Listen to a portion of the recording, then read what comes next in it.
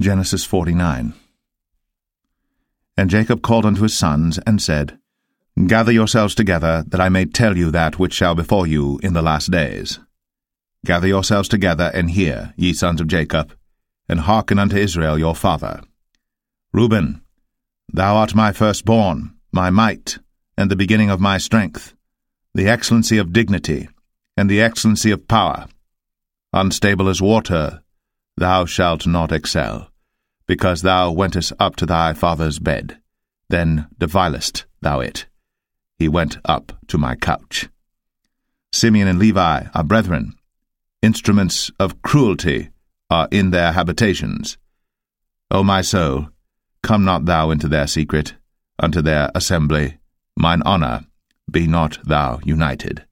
For in their anger they slew a man, and in their self-will they digged down a wall. Cursed be their anger, for it was fierce, and their wrath, for it was cruel.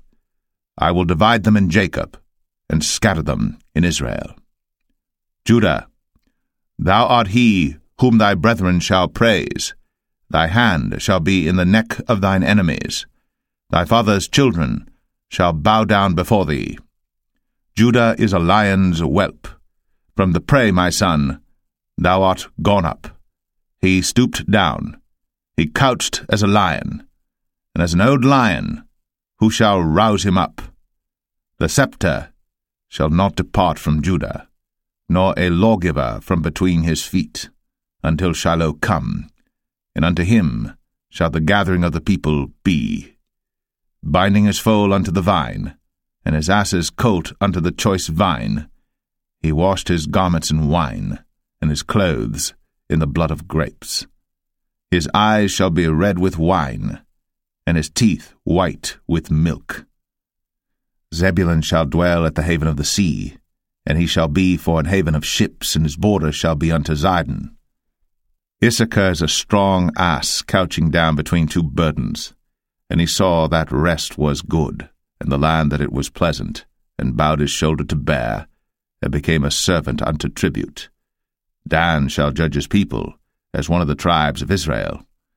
Dan shall be a serpent by the way, an adder in the path, that biteth the horse heels, so that his rider shall fall backward. I have waited for thy salvation, O Lord. Gad, a troop shall overcome him, but he shall overcome at the last. Out of Asher his bread shall be fat, and he shall yield royal dainties. Naphtali is a hind let loose, he giveth goodly words. Joseph is a fruitful bough, even a fruitful bough by a well, whose branches run over the wall. The archers have sorely grieved him, and shot at him, and hated him. But his bow abode in strength, and the arms of his hands were made strong by the hands of the mighty God of Jacob. From thence is the shepherd, the stone of Israel. Even by the God of thy father, who shall help thee, and by the Almighty, who shall bless thee with blessings of heaven above, blessings of the deep that lieth under, blessings of the breasts, and of the womb. The blessings of thy father have prevailed above the blessings of my progenitors, unto the utmost bound of the everlasting hills. They shall be on the head of Joseph, and on the crown of the head of him that was separate from his brethren. Benjamin shall raven as a wolf. In the morning he shall devour the prey, and at night he shall divide the spoil. All these are the twelve tribes of Israel. And this is it that their father spake unto them, and blessed them, every one, according to his blessing, he blessed them.